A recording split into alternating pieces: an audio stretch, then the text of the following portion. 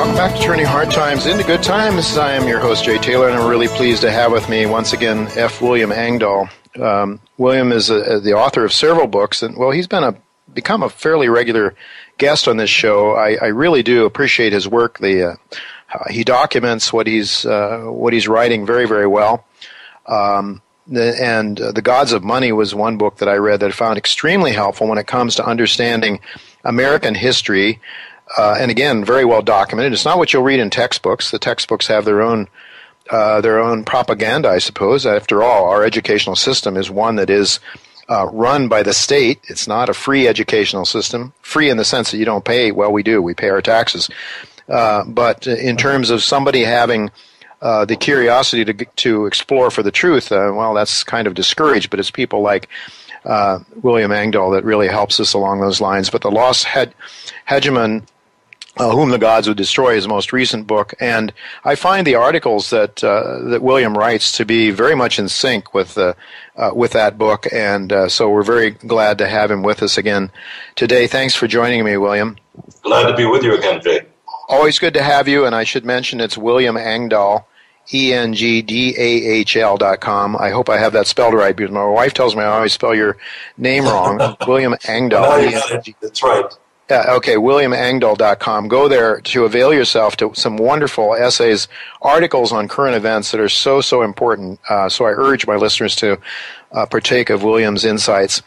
Uh, okay, I, just, I, I, had that I just started uh, a new feature on the website for people who go on there and they uh, are invited to uh, get a free biweekly newsletter. It's a short thing, but it's, it's a supplement to the articles that I write.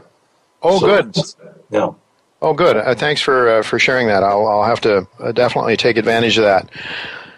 Uh, I think it was on on March 30, 31st. There was a special G20 meeting. Um, well, there was a there's going to be a meeting, as I understand it. Correct me, help me understand this. I believe there's going to be a G20 meeting, or uh, and the and the people's uh, and and China is the host to this meeting. Is that right? China is the chair of the group of 20. It's 20 different countries, uh, emerging countries like China, uh, Brazil, and so forth, and uh, the countries such as the US, Canada, uh, Italy, France, Germany, and the UK. And, uh, and China is the current president. Okay, and but there's a series of these meetings throughout the year. Is that right? And then uh, these are pre-meetings to to shape the agenda for for the actual meeting later this year. Right. So it's the G uh, G7 countries that are all in there, plus the uh, 13 others, I guess. Yeah, something like that. Okay, so uh, so you're you're talking about China really wanting to promote the uh, special drawing rights, SDRs as they're called, and we've had. Uh, you know, we've had guests on this show talking about that. Um, a lot. What can you tell us about the meeting that occurred? I think it was on March 31st. What do you make of the absence of? You said there's an absence of senior U.S. Treasury members there. What's what's that all about? Well, yeah, let me uh, say what was remarkable about the meeting. It was held in Paris on the request of the Chinese. The chairman of the Bank of China, the central bank, the governor, uh, Zhou Xiaochuan, was present, and he made the major presentation calling for broader use of IMF special drawing rights. Now, China was admitted last November as a member of this uh, basket of currencies, which is what it is. It was developed during the uh, late 60s, 70s to try to uh, get around the dollar crisis at that point, and has been kind of uh, there ever since. But it's a basket of currencies. It's not a alternative currency. You can't go to a bank and get so many SDRs. You get a basket which includes a percentage of U.S. dollars, a percentage of Japanese yen, a percentage of British pound, uh, a percentage of German mark, and now the euro. Uh, and now Japanese yen, if I didn't mention, and now the Chinese renminbi is a member of that five, uh, it's now five uh, different currencies. And the Central Bank of China, Governor Zhao, wants to have a subtle transition of the global monetary system that one currency, the US dollar, does not dominate everything. So to call for more use of the SDRs means that uh, countries' payments can be in uh, the other currencies, such as the euro, such as the renminbi. Uh, and uh, that uh, would be perfectly in order.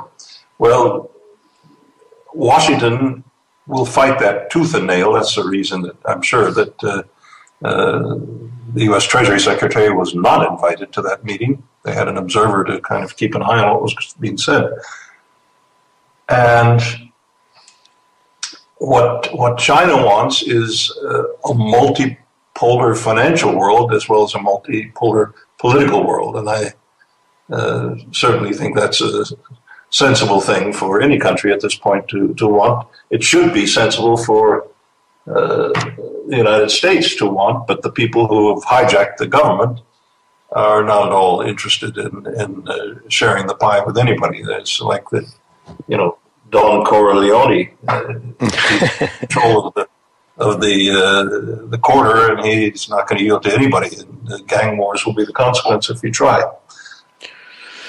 Yeah, well, it's, it's certainly uh, the dollar being the king, uh, the the major uh, global um, international currency ever since uh, the, the spoil. I guess you could say the spoils of World War II, and then uh-huh. uh, when Nixon decided after you know the, to to really uh, destroy Bretton Woods, the Bretton Woods arrangement, which was still a fair arrangement in that it was tied to gold, and and and therefore the international dollar was not uh, was not a a political dollar per se, but it became that after Nixon took us off the gold. And the articles that uh, that William writes to be very much in sync with uh, uh, with that book, and uh, so we're very glad to have him with us again today. Thanks for joining me, William. Glad to be with you again, Jay. Always good to have you, and I should mention it's William Engdahl. E-N-G-D-A-H-L dot com. I hope I have that spelled right because my wife tells me I always spell your name wrong. William Engdahl. That's right. Yeah, okay, williamengdahl.com. Go there to avail yourself to some wonderful essays, articles on current events that are so, so important. Uh, so I urge my listeners to uh, partake of William's insights. Uh, yeah, I, just, 13- I, I, had that I just started uh, a new feature on the website for people who go on there and they uh, are invited to uh, get a free biweekly newsletter. It's a short thing, but it's, it's a supplement to the articles that I write. Oh, so, good.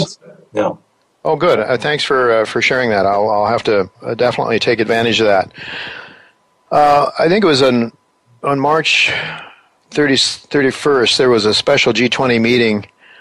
Um, well, there was a there's going to be a meeting, as I understand it. Correct me, help me understand this. I believe there's going to be a G20 meeting, or uh, and the and the people's uh, and and China is the host to this meeting. Is that right? China is the chair of the group of 20. It's 20 different countries, uh, emerging countries like China, uh, Brazil, and so forth, and uh, the countries such as the US, Canada, uh, Italy, France, Germany, and the UK. And, uh, and China is the current uh, president. Okay, and but there's a series of these meetings throughout the year. Is that right? And then uh, these are pre meetings to to shape the agenda for for the actual meeting later this year. Right. So it's the G uh, G seven countries that are all in there, plus the uh, thirteen others, I guess. Yeah, something like that. Yeah. Okay, so uh, so you're you're talking about China really wanting to promote the uh, special drawing rights, SDRs as they're called, and we've had. Uh, you know, we've had guests on this show talking about that. Um, a lot. What can you tell us about the meeting that occurred? I think it was on March 31st. What do you make of the absence of? You said there's an absence of senior U.S. Treasury members there. What's what's that all about? Well, yeah, let me uh, say what was remarkable about the meeting. It was held in Paris on the request of the Chinese. The chairman of the Bank of China, the central bank, the governor, uh, Zhao was present, and he made the major presentation calling for broader use of IMF special drawing rights. Now, China was admitted last November as a member of this uh, basket of currencies, which is what it is. It, it was developed during the uh, late 60s, 70s to try to uh, get around the dollar crisis at that point, and has, has been kind of there ever since. But it's a basket of currencies. It's not a alternative currency. You can't go to a bank and get so many SDRs. You get a basket which includes a percentage of US dollars, a percentage of Japanese yen, a percentage of British pound, uh, a percentage of German mark, and now the euro. Uh, and now, Japanese yen, uh, if I didn't mention, and now the Chinese renminbi is a member of that five, uh, it's now five uh, different currencies. And the Central Bank of China governor, Zhao, wants to have a subtle transition of the global monetary system that one currency, the US dollar, does not dominate everything. So to call for more use of the SDRs means that uh, countries' payments can be in uh, the other currencies, such as the euro, such as the renminbi. Uh, Welcome back to Turning Hard Times into Good Times. I am your host, Jay Taylor, and I'm really pleased to have with me once again F. William Engdahl. Um, William is a, the author of several books, and well, he's been a become a fairly regular guest on this show. I, I really do appreciate his work. The uh, he documents what he's uh, what he's writing very very well. Um, the, and uh, the Gods of Money was one book that I read that I found extremely helpful when it comes to understanding American history. Uh, and again, very well documented. It's not what you'll read in textbooks. The textbooks have their own uh, their own propaganda, I suppose. After all, our educational system is one that is uh, run by the state. It's not a free educational system. Free in the sense that you don't pay. Well, we do. We pay our taxes.